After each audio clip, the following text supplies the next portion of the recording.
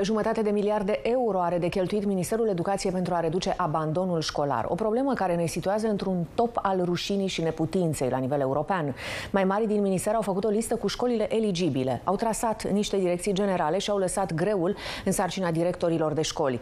Într-o comună de lângă Cernavodă, o tânără directoare s-a angajat în lupta cu sărăcia copiilor și cu dorința de a-i duce pe toți la școală. Și a reușit acest lucru în doar câteva luni.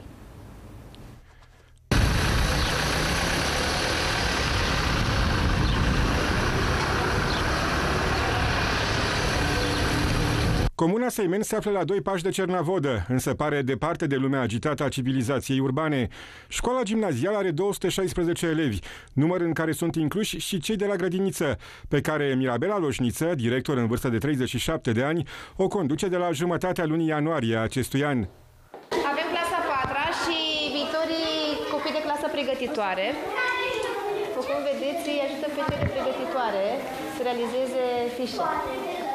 Mirabela Loșniță și-a început mandatul de director la școala gimnazială numărul 1 din Seimeni în urmă cu mai puțin de două luni, iar una dintre primele sale acțiuni, așa cum a promis când a candidat pentru acest mandat, a fost să încerce să reducă la zero abandonul școlar. Sunt câțiva copii care au uh, câteva nevoi materiale și aici am încercat eu să, să intervin cu sprijinul prietenilor sau a diferitelor asociații care fac lucrul acesta.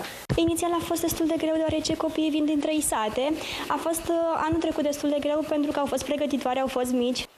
Principalul obiectiv al mandatului tinerei directoare a fost să reducă abandonul școlar la zero și așa a început să vorbească cu prietenii și cei apropiați, pe lângă autoritățile care o susțin în măsura posibilităților, pentru a coagula resursele necesare pentru ajutorarea copiilor care vor să studieze și au potențial, dar au dificultăți din cauza contextului familial.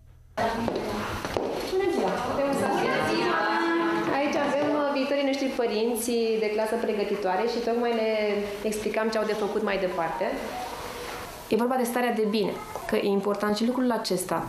Aducem toți copiii la școală, da? Dar trebuie să-i și menținem sau să prevenim uh, părăsirea timpurie a școlii. Și atunci, creând o stare de bine în școală, uh, putem, uh, putem să-i menținem în școală. Realitatea este că sunt și copii săraci au nevoie de mm, o casă curată, părinții care să fie mult mai implicați. Profesoara de biologie Mirabela Loșniță se înarmează cu răbdare și vizitează constant pe copii acasă, de cele mai multe ori neanunțată, pentru a fi sigură că îi găsește acasă atât pe copii cât și pe părinți. Ne bucurăm că își dau interesul pentru copiii noștri, cu toate că sunt din mediul rural. Ne place, școala este îngrijită față de alți ani. Profesorii sunt uh, deschiși cu ei, vorbesc, uh, copiii vin cu drag. Acum, școala din Seimeni are table inteligente în fiecare clasă, videoproiectoare, internet în fiecare clasă, căldură și toalete în interior, dar și supraveghere video tot timpul. Cei care vor să susțină demersurile tinerei directoare pentru eradicarea abandonului școlar printr-un ajutor pentru copiii cu nevoi o pot contacta la școala gimnazială din Seimeni.